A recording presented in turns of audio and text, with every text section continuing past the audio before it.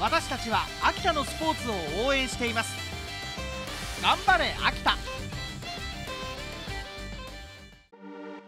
ラートの世界選手権で史上最多となる3度の個人総合優勝。秋田ノーザンハピネッツ高橋康彦さんに話を聞きました。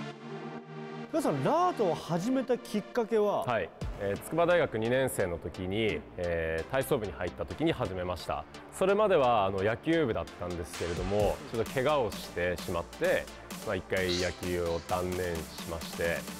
ただその時あの高校の体育の先生になろうと思っていたので、はい、こう教員採用試験に受かりやすくなるために一番苦手な分野だったんですよこのスポーツの中で、はい、体操が。体操が、はい、はい、それをできるようになりたいなと思って体操部に入部してそこにラートがあって出会いました。ラートの難しさってどこですか？っぱりこう道具が動くっていうのがやっぱり難しいところかなと思います、例えば鉄棒だったりあの平行棒とかだったりああいうのって固定された中で自分が動けばいいんですけどラートラ器具も動く自分も動くなので、まあ、より不安定さがこう増すところが難しいかなと思います。なかなかこうラートに触れ合う機会って、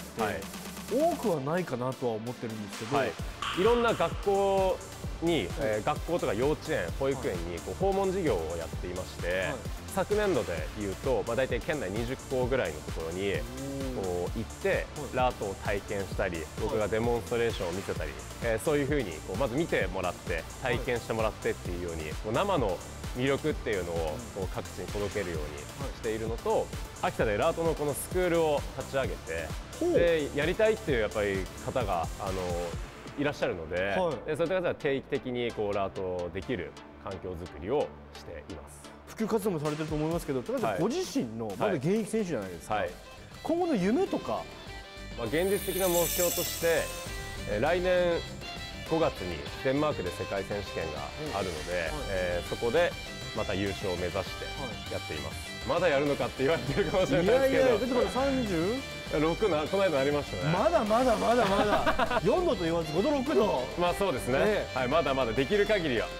もう高橋さん最後にですね、はい、一つだけ教えてください、はい、スポーツの力とは、はい。まあ、まずは自分をこう高めたりするきっかけになるものだと思いますしこうチャレンジ精神をこうかき立ったりするものだしあとはこの世界をどんどん広げていくものだと思っています。ありがとうございました。ありがとうございました。スポーツの力